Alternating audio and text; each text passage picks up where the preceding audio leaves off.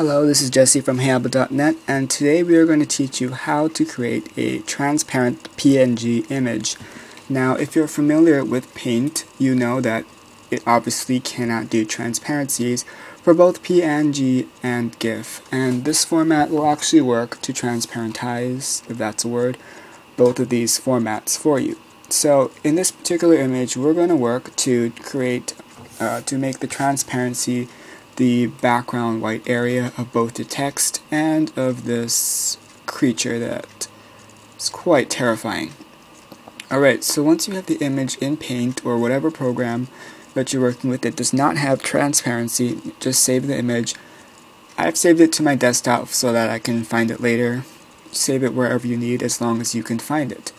Alright, so once you have it saved, you have to access heyHabbo Canvas and you can do this in three ways. The first way is you can visit our homepage at heyhabbo.net and click on the canvas link. It's the black image icon on the right hand side. It's very easy to find and you can see it very easily. Okay, the second way of getting to heyHabbo Canvas is from our forum. We have a direct link on the top of the page.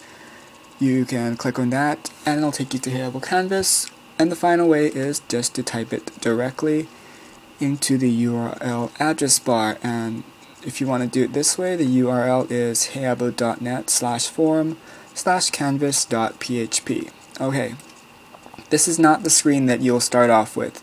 Um, just click on import from computer or add from computer and select the file that you just made and it'll import it into there. If you don't have the screen or if you do it wrong, you can get it from file and open image from URL or open image as such. You can also create the image from scratch directly in with Canvas if you want to do it that way. But that is not the way we're going to do it. Okay. Let me just show you really quickly how to do it. Okay. So there you go. You will start off with something that looks like this once you import it or whatever yours looks like actually. Now the first thing we want to do is we need to unlock this layer because it will not allow us to make transparent backgrounds if we use it like this. So double click on the locked icon on the right hand side to unlock this layer. Okay, this will make this, air, uh, this layer workable and interchangeable. The second thing you want to do is right click it and duplicate the layer. So now we have a copy of the original layer. You can go ahead and delete the bottom layer. We no longer need it. So that would be layer 0. Alright. Now what you want to do is this image can be made transparent, can be transparentized now.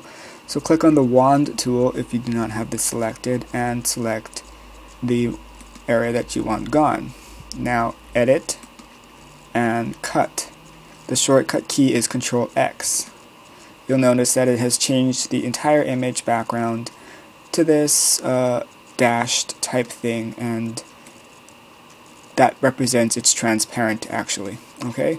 Now you'll notice that the text there is some white spaces in this area and that's because we only selected what was around the image not actually all the white spaces. So you want to zoom into this so you can get a better look. I'm going to zoom into 200 maybe 300 will be better and basically click on all the little spots that you want to make transparentize and you can use the shortcut key X to delete the white spaces or you can hold the shift key and click down on multiple spaces at once and then press Control X to get rid of them all. Alright, if you're on a Mac it might be Apple X. I'm not quite sure because I don't have a Mac. Alright, so once that's done that your entire image is now transparentized. And to finalize it, just click on File. Sorry, that's in the way. Click on File and Save. And it'll ask you to either upload to Pixlr or you can save it to your hard drive and up to load to where you want it to go. And that is how you create a transparent PNG or GIF works too. Uh, it's up to you. You can choose the format you want to save in once you're done with heyHabbo Canvas. This ends the tutorial. Thanks for listening.